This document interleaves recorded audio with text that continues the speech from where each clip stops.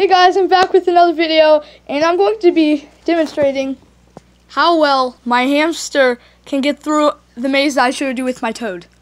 So, she's done that again. Now I'm going to go back at the start. Go over there. See how this works.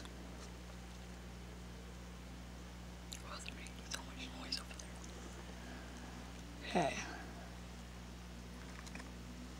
Oh boy, don't tear it up, don't tear it up.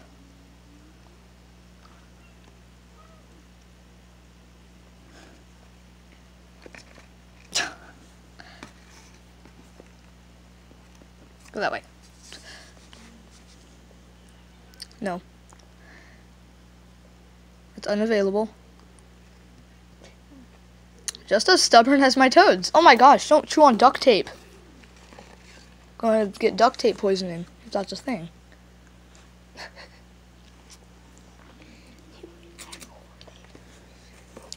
Not that way. Not that way. Go that way. Yeah, that's way.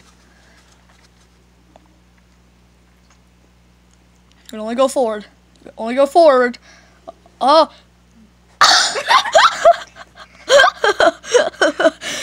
no. Oh look, there's a perfectly open exit waiting for me. I'm just gonna go right past it.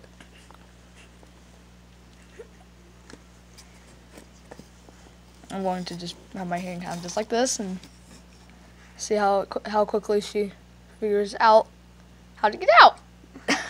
Just staring at the entrance.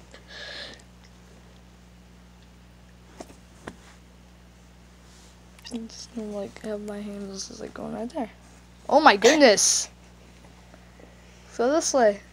Oh my gosh! Finally! so this yes, this is my hamster. Thank you for watching. Please subscribe and like.